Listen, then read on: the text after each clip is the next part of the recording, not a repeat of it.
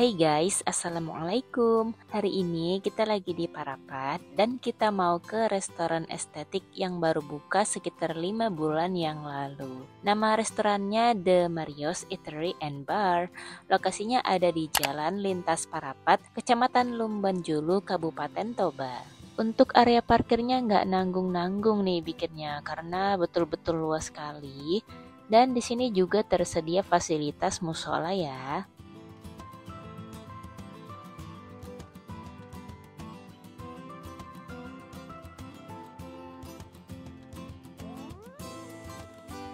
Nah ini dia bagian depan indoor areanya dan ada landmarknya juga di sini. Kemudian ini adalah outdoor areanya. Kita udah tanya ya ke pihak restonya, katanya kalau mau duduk di outdoor areanya ini ada minimal pembelian di hari weekend. Tapi kalau di hari weekday kayak hari ini kita datang itu nggak ada minimal pembelian ya. Untuk sitting areanya di sini ada yang pakai atap, ada yang nggak pakai atap juga. Tapi karena ini tadi habis hujan deras, jadi sitting area yang nggak ada atapnya ini basah lah ya. Dan as you can see ya guys, air sungainya juga jadi agak coklat gitu.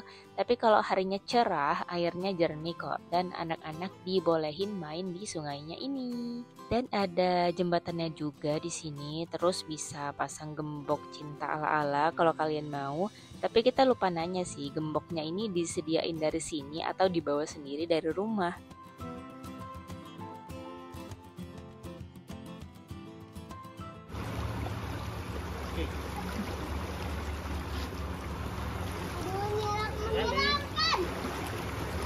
Well, sekarang kita masuk ke indoor areanya melalui pintu samping ya.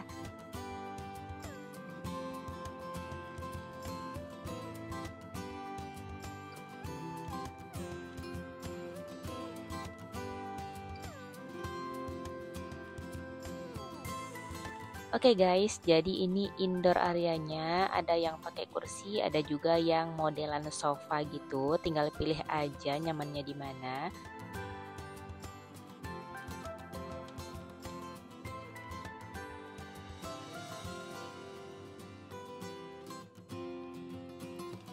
Ada juga semi outdoor areanya dan kita pilih duduk di sini aja.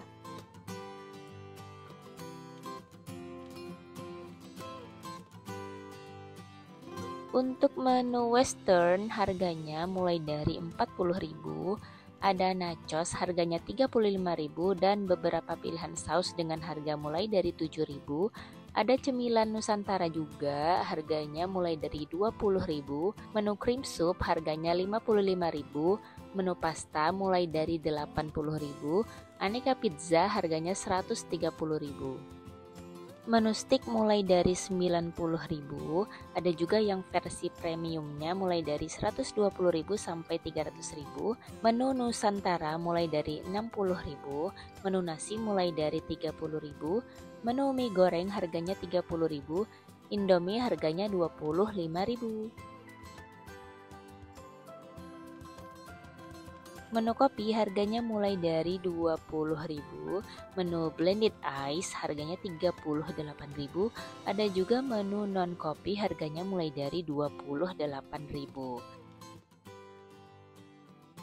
Karena kita juga baru selesai makan siang, jadi kita pesen cemilan aja, ada roti bakar dan kentang goreng. Terus untuk minumannya kita pesen dua brown sugar latte, red velvet blended, Milo blend Oreo.